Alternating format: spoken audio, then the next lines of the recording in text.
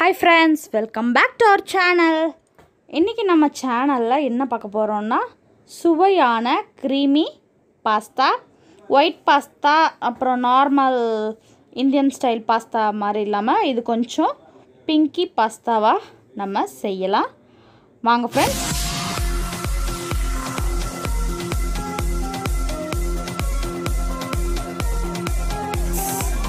வீடியோக்குள்ளே போகலாம். ஃபஸ்ட்டு ஒரு பாத்திரத்தில் தண்ணி சுட வச்சுக்கோங்க. காயெல்லாம் உங்களுக்கு ஏற்ற ஷேப்பில் நறுக்கி வச்சுக்கோங்க. உங்களுக்கு என்னென்ன காய் போடணுமோ அதெல்லாம் நறுக்கி வச்சுக்கோங்க. வெங்காயம் பச்சை மிளகா பூண்டு கேரட் பீன்ஸ் தக்காளி குடமிளகா கார்ன் இருந்துச்சுன்னா கார்ன் மஷ்ரூம் இருந்தால் மஷ்ரூம் இந்த மாதிரி தேவையானதெல்லாம். பூண்டு வந்து நம்ம பொடியாக அரிஞ்சு வச்சுக்கிட்டா தான் இந்த மாதிரி இட்டாலியன் ஸ்டைல் குக்கிங் எல்லாத்துக்குமே நல்லாயிருக்கும். தண்ணி சுடட்டும். நம்ம இன்னொரு சைடில் கடாய் வச்சுக்கலாம். கடாய் நல்லா சூடான பிறகு ஒரு ரெண்டு ஸ்பூன் எண்ணெய் சேர்த்துக்கலாம். எண்ணெய் நல்லா சூடாகட்டும். எண்ணெய் நல்லா சூடான பிறகு ஃபஸ்ட்டு அதில் பூண்டு சேர்த்துக்கலாம். நம்ம பொடியாக நறுக்கணும் இல்லையா? இது ஒரு நாலு அஞ்சு பல் பூண்டு இருக்கும். ஒரு நாலஞ்சு பல் பூண்டை தோல் உரித்து நல்லா பொடியாக சாப் பண்ணி வச்சுக்கோங்க. அது கொஞ்சம் நல்லா பொரியட்டும். கொஞ்சம் அது பொரிஞ்ச பிறகு பொடியாக நறுக்கின பச்சை மிளகா ஒரு பச்சை மிளகாயை பொடியாக அரிஞ்சிருக்கிறோம். பச்சை மிளகா வேணான்றவங்க ஸ்கிப் பண்ணிக்கலாம். சில பேர் பச்சை மிளகா அவ்வளோவா யூஸ் பண்ண மாட்டாங்க. இது ரெண்டுமே கொஞ்சம் கோல்டன் ப்ரௌன் வர வரைக்கும் வதக்கிடலாம்.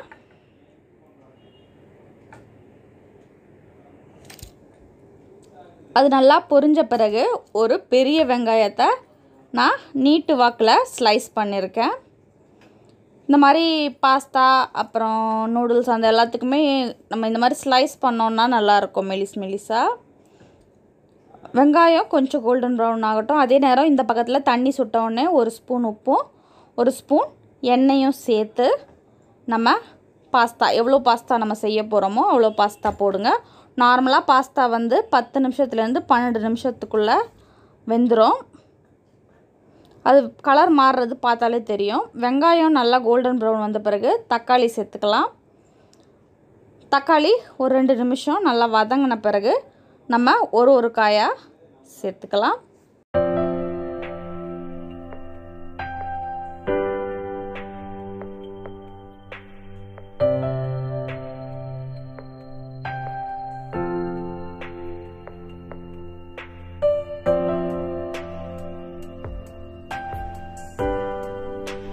தக்காளி வெங்காயம்லாம் சீக்கிரமாக வேகிறதுக்கு காய்க்கு தேவையான உப்பை இதில் சேர்த்துக்கலாம்.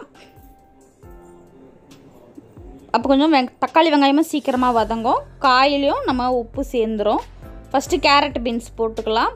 கேப்சிகம் எப்பவுமே கடைசியில் தான் போடணும். வேறு ஏதாவது நீங்கள் வெஜிடபிள்ஸ் சேர்க்கணுன்னா இந்த டைம்லேயே சேர்த்துக்கலாம். இந்த சைடில் பாஸ்தா நல்லா வெந்திருக்கான்னு பாருங்கள் கலர் சேஞ்ச் ஆகிருக்கும் நல்லா சாஃப்டாக வந்திருக்கும். ஒன்று எடுத்து லைட்டாக ப்ரெஸ் பண்ணி பார்த்தீங்கனாலே தெரியும். கட் ஆகும்.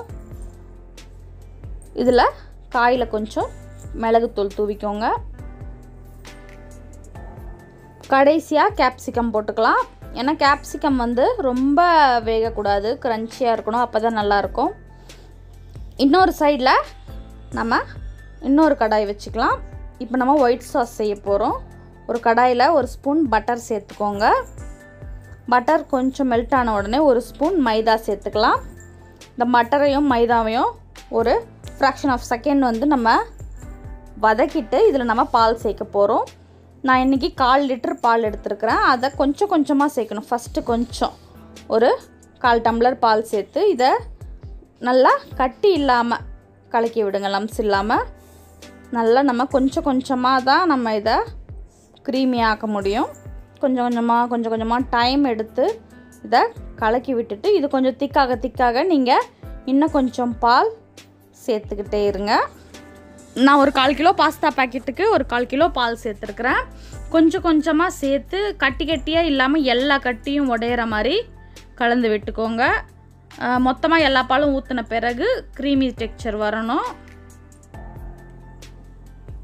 கொஞ்சம் கொதித்த பிறகு கொதி கொதிக்க நீங்கள் கொஞ்சம் கொஞ்சமாக நீங்கள் கட்டியெல்லாம் உடச்சி உடச்சி தண்ணி சேர்க்கும்போது பால் சேர்க்கும்போது தான் அது க்ரீமி டெக்ஸ்சர் வரும். கொஞ்சம் க்ரீமி டெக்ஸ்சர் இப்படியே நீங்கள் செஞ்சீங்கன்னா ஒயிட் பாஸ்தா நம்ம இதில் வந்து ரெட் சாஸ் பாஸ்தா சாஸ்னு இருக்கும். அதை சேர்க்குறோம். ஆரிகனோ அப்புறம் சில்லி ஃப்ளேக்ஸ் இதெல்லாம் சேர்த்து கலக்கிறப்ப அந்த ரெட் கலரும் ஒயிட் கலரும் சேர்றக்கான நமக்கு பிங்க் கலர் கிடைக்குது. இந்த பாஸ்தாலையும் நம்ம கொஞ்சம் பெப்பர் சேர்த்துக்கிறோம். நம்ம அதுலேயும் கொஞ்சம் இந்த டைமில் ரொம்ப க்ரீமியாக இருக்கு இல்லையா? இந்த மாதிரி இருக்கிறதுனால நமக்கு கட்டி கட்டியாக இருக்கிற மாதிரி இருக்கும். நம்ம இதில் கொஞ்சம் வாட்டர் சேர்த்துக்கலாம். பாஸ்தா வேக வச்சோம் பார்த்தீங்களா அந்த தண்ணியே சேர்த்துக்கோங்க. இன்னும் கூட நம்ம பார்த்து டெக்ஸ்சர் எப்படின்னு பார்த்து தண்ணி ஊற்றிக்கலாம் இந்த பக்கம் நம்ம வதக்கி ரெடியாக இறக்கி வச்சுருக்கோம் இல்லையா? அந்த காயெலாம் வதக்குனதில் இந்த க்ரீமை சேர்த்துக்கோங்க. இன்னும் கூட தண்ணி சேர்த்துருக்கலாம். இந்த மாதிரி நல்லா கலந்த பிறகு தண்ணி எவ்வளோ தேவையோ மொத்த கன்சிஸ்டன்சிக்கு தேவையான தண்ணி சேர்த்துட்டு நம்ம வேக வச்ச பாஸ்தாவையும் இதில் சேர்த்துக்கலாம். தண்ணி கொஞ்சம் ஒரு டூ மினிட்ஸ் கொதிச்சா இது அப்சர்வ் ஆகிடும் அந்த டூ மினிட்ஸ்க்கு ஏற்ற மாதிரி கன்சிஸ்டன்சி கொஞ்சம் தின்னாகவே வச்சுக்கோங்க. இந்த மாதிரி இந்த ஒயிட் சாஸ் இல்லாமல் செஞ்சிங்கன்னா நார்மல் இந்தியன் ஸ்டைல் பாஸ்தா வந்துடும் இதில் நான் வந்து ஒரு சீஸ் ஸ்லைஸை சின்ன சின்னதாக ஸ்லைஸ் பண்ணி போட்டிருக்கிறேன். சீஸியாக இருக்கணும் இன்னும் எக்ஸ்ட்ரா சீஸியாக இருக்கணும். இது இல்லைனாலும் பரவாயில்ல இந்த ஸ்டெப்பை ஸ்கிப் பண்ணிக்கலாம். நார்மல் அதுவே நல்லா சீஸியாக தான் இருக்கும். க்ரீமியாக தான் இருக்கும்.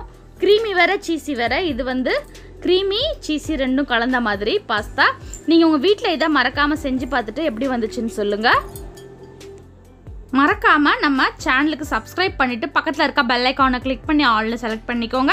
நம்ம வீடியோக்கும் ஒரு லைக் பண்ணிவிடுங்க நீங்கள் செஞ்சு பார்த்துட்டு எப்படி வந்துச்சுன்ட்டு கமெண்ட்ஸில் சொல்லுங்கள் உங்கள் ஃப்ரெண்ட்ஸுக்கும் இதை ஷேர் பண்ணுங்கள் தேங்க்யூ ஃப்ரெண்ட்ஸ் மீண்டும் அடுத்த வீடியோவில் உங்களை சந்திக்கும் முறை உங்களிடம் உங்களிடமிருந்து விடைபெறுவது உங்கள் சந்தியா தசரதன்.